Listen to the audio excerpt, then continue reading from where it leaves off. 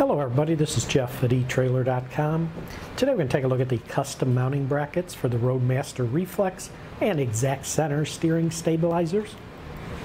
Now this is a custom fit part. This part here will fit many different brands and years of motorhomes starting in 1986.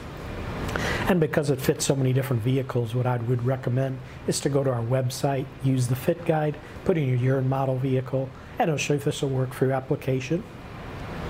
Now these are custom brackets which are attached to your vehicle's frame so that you can mount your Roadmaster steering stabilizers to your motorhome.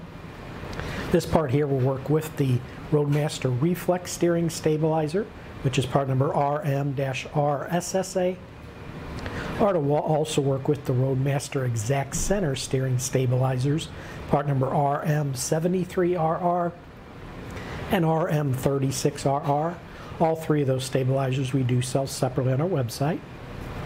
This is a bolt-on installation. There's no drilling or welding required.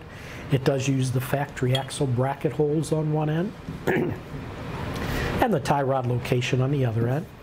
Does include the hardware to install everything. Comes with a nice set of instructions that'll describe how it installs. These parts are made in the USA. But that should do it for the review on the custom mounting brackets for the Roadmaster Reflex and Exact Center steering stabilizers.